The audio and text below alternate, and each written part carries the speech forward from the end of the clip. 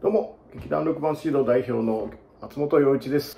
えー今日はですね、えー今私がやってる松本プロデュースという舞台のに出てくる小道具を作ろうと思います。僕は料理が好きなので、えー舞台に出てくる料理的な小道具は大体自分で手作りしてるので、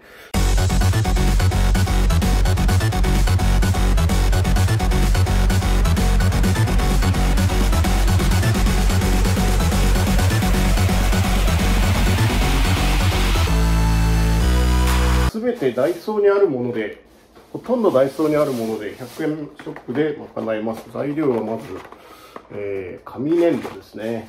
えーいろんな種類。紙粘土、えー皿、皿類ですね。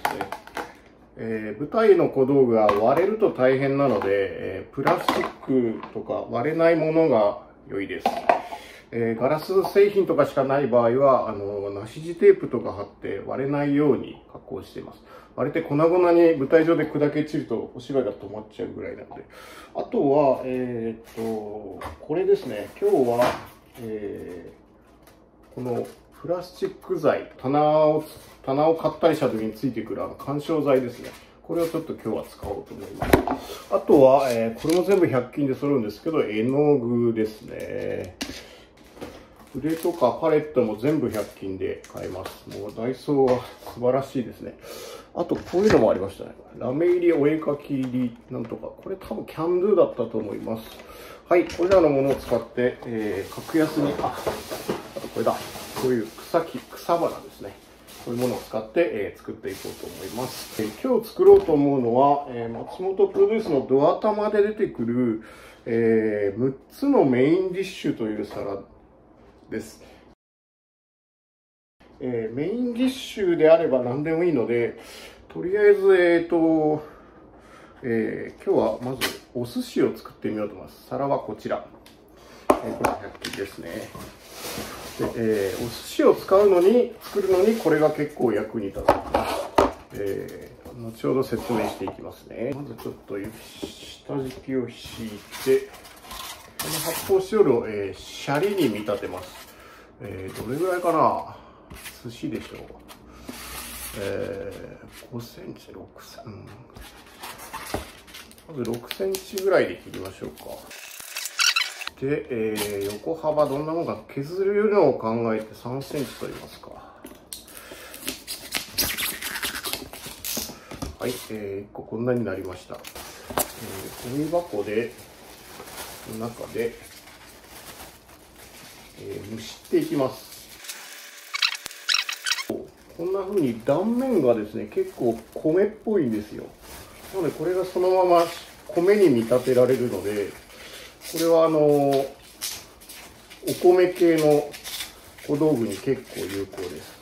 はい、こんな感じで1個シャリができました。あ、大きさ良さそうですね。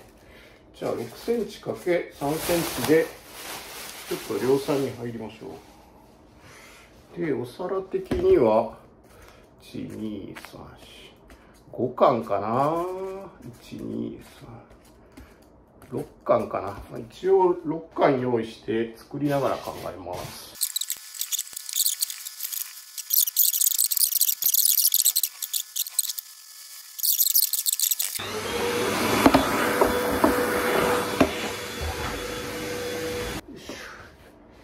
はい、掃除が終わりました。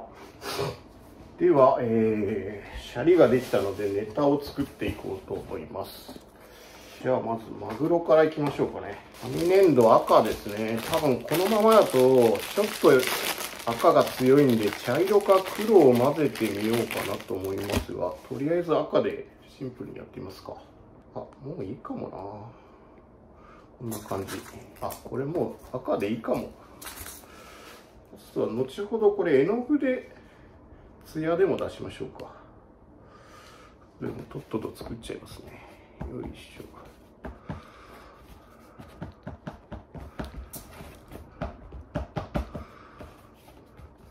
ちょちょっとシャリがでかかったですね。うん。微調整ちなみに僕昔回転寿司で高校の時3年間握ってたんで寿司が握れます。こういう感じですねあ、いいんじゃないかな。はいはい。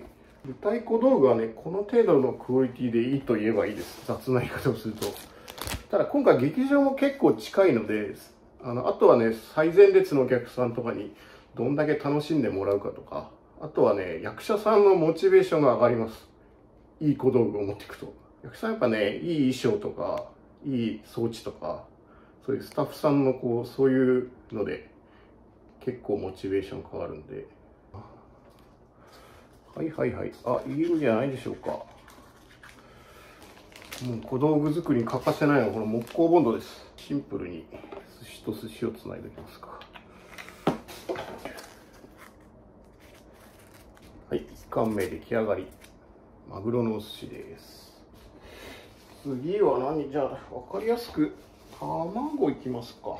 黄色い紙粘土です。結構あの、お店の卵というか、あの、回転寿司の卵に色が似てるというか、もうこれも速攻できちゃいますね。もっと本格的にしたいなら、ここにこう、茶色い絵の具とかで筋とか入れると、ちょっと後でやってみようかな。はい、こうですね。こう、こうで、こうで、こうですよ。あ、あ、いいじゃない、いいじゃない。はい、えー、画用紙ですね。ハサミで切って、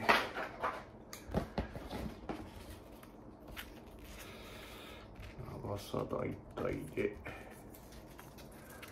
はい、切ります。今度は、えー、よいしょ。よ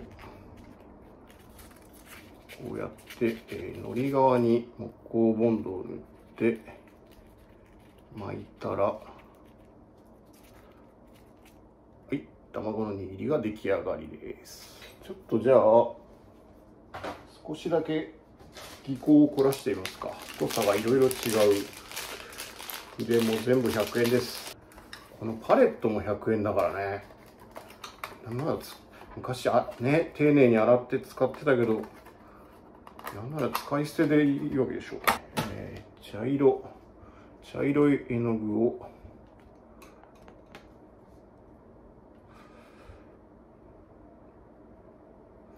あ。今ちょっと塗ったんですけどいまいちっぽいんであんまりやらないようにします。塗っちゃった以上やんなきゃなんか変なんで。ちょっと焦げすぎな感じが出ちゃうかな。ほんとここに渦巻くみたいにしようかと思ったんですけど。うん。しまったなちょっといまいちな感じに。まあいいでしょう。それぐらい舞台、舞台小道具はおおらかでいいです。まあ一回行ってますか。一回ね、普通にやったら多分ただののっぺらぼうの白いものになるんで、何か工夫が必要なんでしょうね。まずはでもまあ試しにピュッとやってみますかまあこういうことですよね。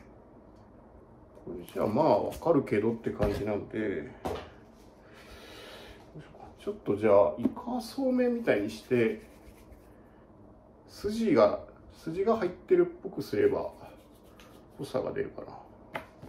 ちょっとやってみましょう。舞台なんでちょっと分かりやすく大きめにっていうのもあの役者さんが老けメイクでシワとか描くの実はむちゃくちゃ濃く描いてるんですけどコントみたいに描いてるんですけどあんまり濃く見えないとかあるでしょ。やっぱそれが舞台の表現だったりもします。逆に細かくディティールにこだわっても見えてないっていうねその努力無駄よ自己満足よっていうことが結構あります。もうこれも最たるもんですよね。ねまあいいです。楽しんで。おおなんかちょっと良さげですね。こんな感じで、えー、イカそうめんをまとめたような。ああ、いいんじゃない？これ。これはいいぞ。こういう何らかこう発想の転換が。あ、いいですね。いい感じ、いい感じ。回転寿司じゃない、回らないお寿司屋さんで、一手間加えたイカみたいになっていいんじゃないですか、これ。こうなると多分、こういうあの、えっ、ー、と、フラワーコーナー、園芸コーナーですかね。こういうやつがね、本当にいい仕事をしてくれます。こういう感じで切って、これをイカに乗せちゃいます。これでもう匠の技みたいになります。笑っちゃうなこれ。面白い。ああいいね。ああいいね。道場六三郎だね。ょっとねもうちょいいっときますね。これが本当に実行満なんですよ。これもちょっと足します。こんな感じかな。最高じゃないですか。できましたね。はいイカの握りです。季節の香味野菜を添えていただきあと2貫。えー、青魚ですよね。小肌とか絵の具で小肌が表現できるかな。ちょっとやってみようか。なんか知らんけど尖ってるイメージない？こんな感じじゃないかな。側としてはね。ちょっとじゃあ着色で工夫してみますか。はいさっきの絵の具パレットが出てきました。えー、青でしょ？銀なんだよね。でも青ってやっぱあんまね生きた料理に使われない色なんで自然界にない色なんであんまり使わないですよね。前あのシルバーっていうのがあったんですけどね今ないですね。もうあるもので作ってみましょ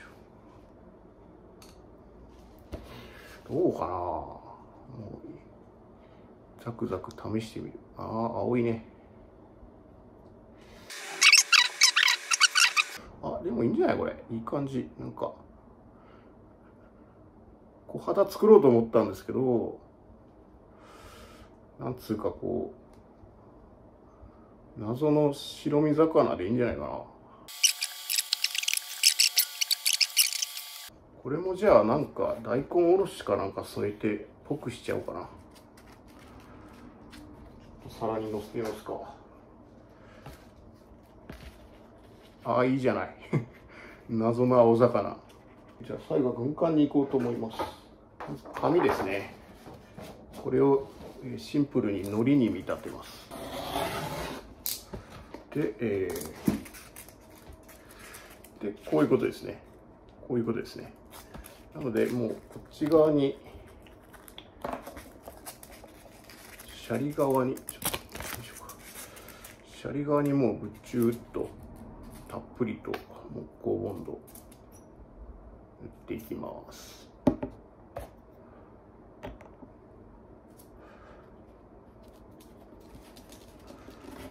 で、えー、あしまった。よいしょ。よいしょ。はい巻きまして。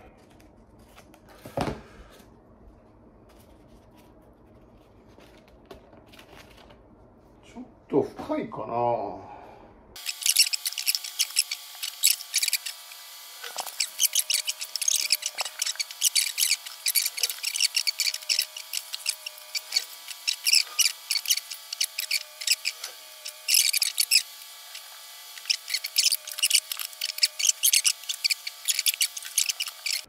ああこれはいいね。じゃあ並べてみようかな。あ、あ、いいじゃない、いいじゃない。で、多分最後に、料亭っぽくするには、こいつでしょう。もみじの葉でも散らせば、飾れば、あ、いいですね。よし、じゃあこれで仕上げちゃいます。最後は木工ボンドで下に固定です。